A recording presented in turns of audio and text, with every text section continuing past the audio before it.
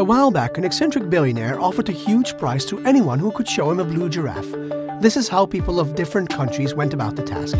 The British argued thoroughly whether such a creature could really exist. The Germans went to the library and looked up literature to see if such creatures really existed. Americans dispatched troops all over the world to search for one. The Japanese made blue giraffes through iterative genetic experimentation and the meticulous breeding program. The Chinese went and got some blue paint.